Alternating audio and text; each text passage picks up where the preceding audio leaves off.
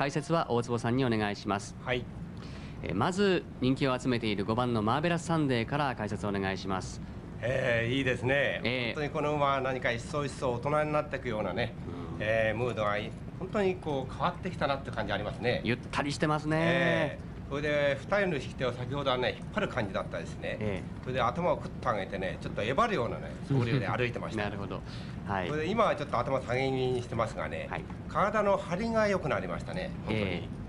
ですからやはりいらないところ身が取れてね本当にかけられるう体型になってきたんじゃないですかね。ーはい。まあ、これ秋2走目になるわけですが目標は当然この後の天皇賞ということになるんですけれども今日の時点でももう満点の出来というふうに言っていいんでしょうかね、えーあの本当の男馬の古馬ねはい。そういった感じのムードになってきましてね、ええ。気合も適当にこう乗ってますしね、ええ。落ち着きもあるし張りもいいという感じですね。そうですか。分かりました。そして大坪さん、えー対抗に押してらっしゃるのはダンスパートナー14番ですね。はい、えー他のね男馬がのん少しこうのんびりと落ち着いて歩いているのに対し、えーやはりこの馬は牝馬ですね、うん。ただ一頭こうお まあ自分でリズムを作るようにね早足でこう歩いてますがね、えー友の辺がねやはりこう一回り大きくなった感じもありますし胸前も少し大きくなったんじゃないですかね、はい。お腹の辺はこの馬らしくちょっとこう牝馬らしく薄いんですがね、ええ。ーただ横から見たらいかにも牝馬らしいんですが、うん。真後ろから見てもね、えーやはり、えー友の張りというか丸みを置いてきましたね、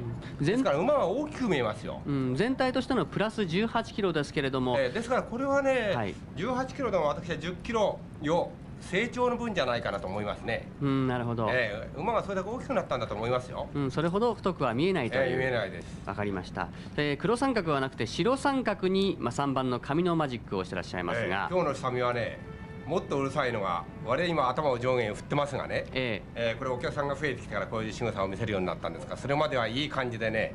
えー落ち着きがありましたよ。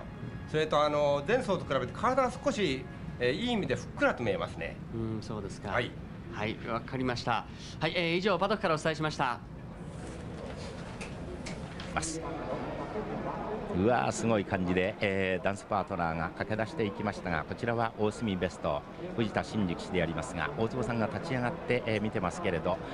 大坪さんマーベラスサンデーももうすっきりしたというか本当にいよいよ天皇賞近しというような、えー万全のね、えー感じに見えますね。配信が入りましてもね、うん。しっかりとハミを取りましてね、い、かにも上が抑えるのに苦労するような素振りでね、はい。気合十分いきましたね。そうですよね。最後にですけどダンスパートナーもリズムカルにね、はい。今開始前に入ってきましたがね。そうですよね。というふうにマーベラスサンデーからあー見てまいりますとご覧のようにマーベラスサンデーとダンスパートナーの組み合わせ5番14番で3.3倍のオッズであります。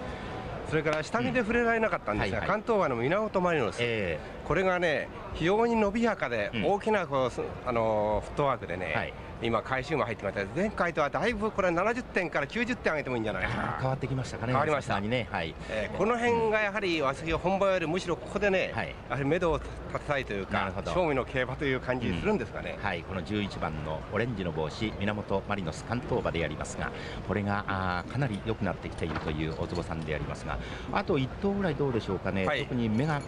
やはりあの紙の、のマジックっていうのは、これはふっくらして、私は状態この間よりむしろうん。体見た感じはいいんじゃないかなと受けるんですよ。あーそうですか。これはもう流れにいかんによってね、末足も発揮できるでしょうし、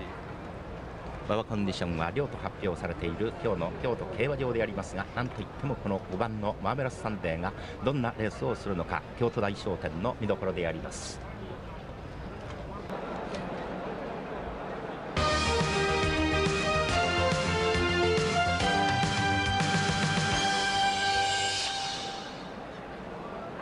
あ京都競馬場はどうでしょうか？異様などよめきがあー伝わってまいります。放送席でありますが31回目京都大商店。大友さん東京の方はちょっと波乱みたいだったんですがね、はい。果たしてこちらの方酒井アナウンサーも言っておりましたけれどマーベラスサンデーがどんなレースをするのかいうこの一点ですね。えーマーベラスにとっての課題はやはり初めての競技ということでしょうかね、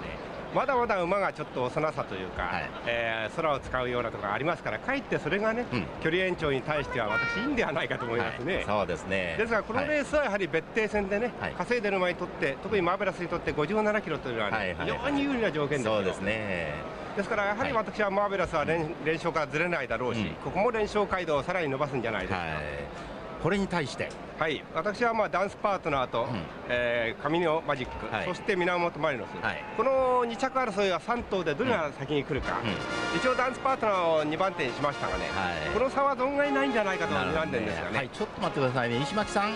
はい、えー、夏場休ませたこの京都競馬場の馬場まず素晴らしいということを言っておきたいと思いますね、うん、そしてこのマーベラスサンデーいいですね。落ち着いてますね。ちょっと格が違うっていう感じだと思うんですがね。どうでしょうか。はい。えー、というふうに13番の名村稲妻はすごい汗ですね、お父さん、これがマーベラスサンデー、えー、うん、あの下目あたりもちょっとね、先ほども言いましたように、祝って歩くようなね、うん、貫禄が出てきます、ね、そうですね。はいさあ石巻さんどうですか、えー、ゲートインも順調ですね、はい、ダンスパートナーが久々でちょっとこううるさいところを見せていたんですけれども、うんうん、今だいぶ収まりましたね。一番最後にダンスパートナー入ると思います。これが入って、はい、先に2番うんこの辺りゆっくりとこれから14番のダンスパートナーです。C 博文騎手を安城にしてこれで14頭のゲートインが終わりました。さあスタートでやります。2400m 京都競馬場外回り。コンディション両。さあ京都大商店のスタートです。うんちょっと名村稲妻あたりタイミングが合わなかったんでしょうか。まず1番のサンデーウェルト福永雄一でありますがずっと緑の帽子サージュ・ウェルズさらにはカシノエタニティこの辺りも出てまいりました。さあ内へ入りましてイノペンタゴン追い込みの馬でやりますがかなり早めに行きました。外からザ・フォーリアでやりますがマーベラスサンデーは果たしてどの辺りにいるんでしょうか。ちょうど中段ゼッケン5番ゼッケン5番これがマーベラスサンデー。ゼッケン5番マーベラスサンデーと武豊。その後ろからオースインベスト 55Z 大沢サージャン14番。14番がダンスパートナー内へ入って赤い帽子カミノマジックであります。こんな体勢平均ペースになろうとしておりますが第1コーナーを右にカーブを取ってこれから第2コーナーに向かいます。5番のマーベラスサンデーはちょうど中段にいます。ちょうど中段青い帽子武豊でありますが後ろから来るダンスパートナーを待つのかどうかダンスパートナーの力を十分知っている武豊としては果たしてどういうようなレースをするんでありましょうか。そのダンスパートナーが内内へ入ってまいりまして C ヒロミさあ先頭からもう一度14頭整理しておきましょう。先頭はサンデーウェル福永雄一。そして2番手に9番でありますカシノエタニティ。その外へサージュ・ウェルズちょっとかかり気味。内を通って4番のイノペンタゴン。その外へザ・フォーリアでありますオレンジの帽子。それから関東馬11番源マリノス。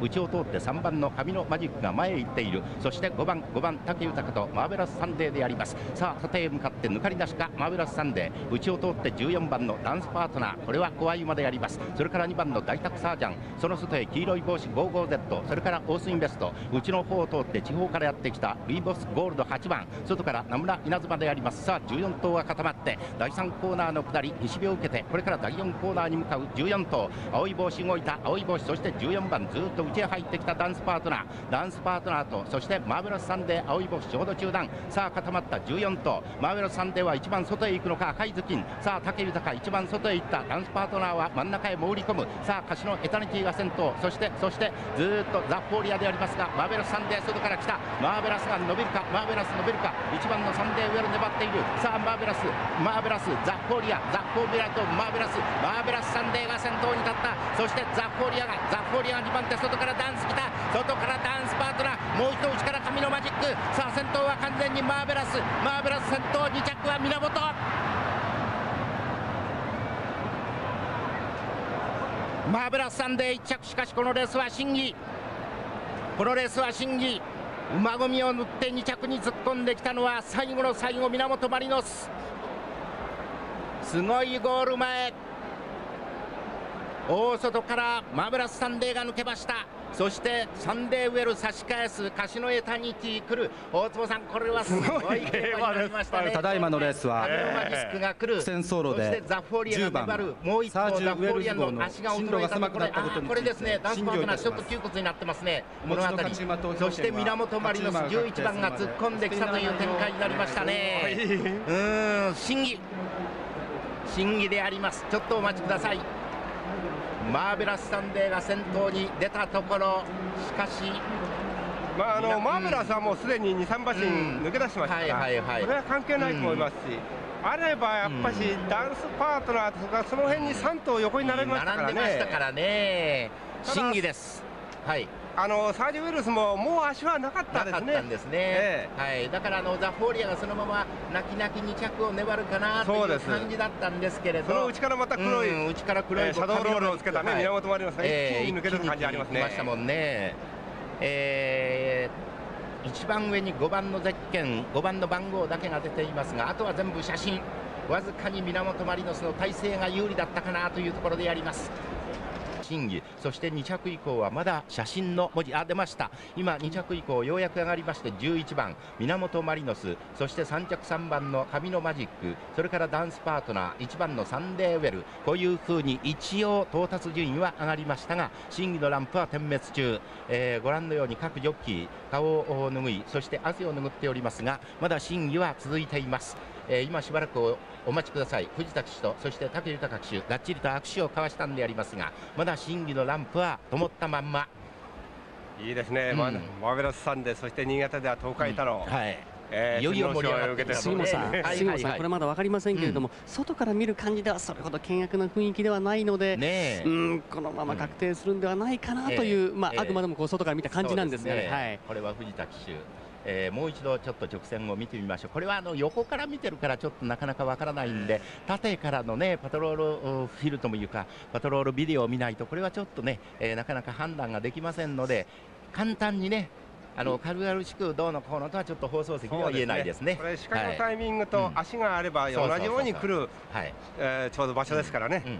いかにもこれ横からですからね真正面から見ないとね、えー、どの馬がどうだっていうのは、はい、外から内へ寄ってるのか微妙ですからね。分かりませんからね、えー、マーベラスサンデーの武豊騎手勝負服をもう一度身につけまして、えー、確定するのを待っているところでやりますが、えー、着差は2分の1馬身勝ち時計は2分25秒1レコードタイムはメジロマックイーンが2分22秒7というねレコードタイムを持っていて時計の方はまあまあだったんですがしかし大接戦になった京都大商店。依然として、えー、審議は続いておりますがランスパートナーのもう大坪さん、さすがですね、だけどプラス14キロでね、えー、これを叩いて当然、上半を狙うでしょう、ね、上半ではやはりこの馬は最有力になってきますね、やっぱりね。まあ、桜キャンドルというね、うん、いますけどね、参加してくるんでしょうね。はいこの辺り、石辺なんかともね、こうあの出てくればですけどね、はい、どういうふうになるのか分かりませんが、頭、鼻、首という、えー、4着、さすがダンスパートナーというところを見せましたが、確定のランプがまだかなという感じで、武豊騎手、えー、検量室で待っているところでありますが、依然として、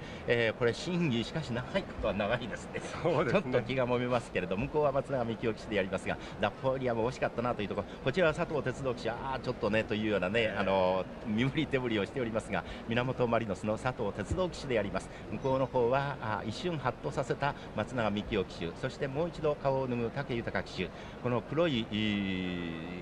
服は誰なんでしょうね。これはねちょっと後ろ姿ではっきりとは分かりませんがいろいろとレース後の会話が交わされているところであります、えー、さあゆっくりとこれから武豊騎手出てくるのかな、えー、石巻アナウンサーが待機中でね、えー、これ次の予定もありますし放送時間の方もなくなってまいりますんで放送時間の終了まであと1分になりましたんでなんとかですねなんとかあこのまま確定してほしいんでありますが一応5番11番ですと5番11番ですと8.4倍というオッズ。しかし審議中ですからね、えー、お待ちください、えー、放送時間まであと45秒なんとかあしてほしいんでありますけれども、ね、杉本さんね、審議の、はいはい、審議室のドアがですねそのままこう固く閉じられたままなんで分かりませんけれども、うん、おそらくそのまま確定するんではなかろうかなという感じがするんですがね、そうですよね、えー、えー、放送時間終了まであと30秒なんでね、えー、なんとかあ確定してほしいんでありますが、あこの黒いシャツは角田騎手だったんですよね。えー、あと20秒になりました。まだ審議のランプは続いていますが5番のマーベラスサンデー11番の源マリノス3番のカミノマジックそれから14番のダンスパートナー1番のサンデーウェル。この順番でゴール板を通過して京都大賞典は審議のランプが灯ったままです。